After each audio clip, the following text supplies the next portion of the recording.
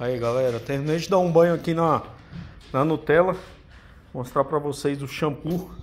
Eu costumo dar banho nela. Esse shampoo Eu vou secar porque a orientação. A orientação é essa, tem que secar. Vou mostrar aqui pra vocês Não é a primeira vez que eu indico Esse shampoo aqui, tá? Ele vende em, em embalagem de 500ml Esse aqui é uma embalagem maior de 3 litros. Comprei pela internet mas essa marca aqui tem mais ou menos uns 4 anos que eu descobri por conta dessa benzoína. Ela faz com que a pele da cachorra não tenha tanto, tanto machucado de pele. Ela tinha muito problema de pele, a Nutella. Então eu passei agora, a gente ficou sem um shampoo praticamente um mês. Começou a aparecer algumas feridinhas na pele dela porque ela tá aprontando pra caramba, tá brincando muito, tá se machucando. E fica essas feridinhas aqui, ó. Tá?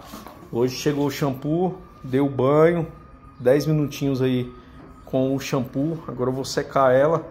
Mas isso aqui é um remédio, cara, pra ela. Pra você aí que tem cachorro que tem problema de pele, já gastou grana e vai em veterinário, vai para um lado, vai para o outro, costumo utilizar um shampoo aí que eu não vou falar o nome dele, que eu não tô ganhando nada com isso. Esse aqui eu tô ganhando o quê?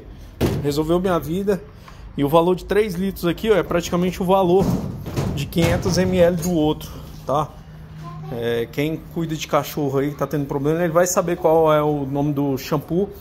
Frasco pequeno e muito caro, tá?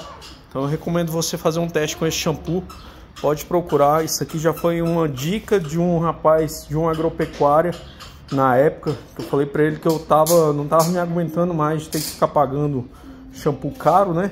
Então ele me indicou essa dica aí para vocês novamente, que eu já tenho um outro vídeo mais antigo que eu falo sobre esse shampoo. E agora eu vou fazendo, fazendo outro, tá? O rendimento dele é muito bom, espuma bastante, tá? E tira mesmo a sujeira do cachorro, além da questão do tratamento aí, né?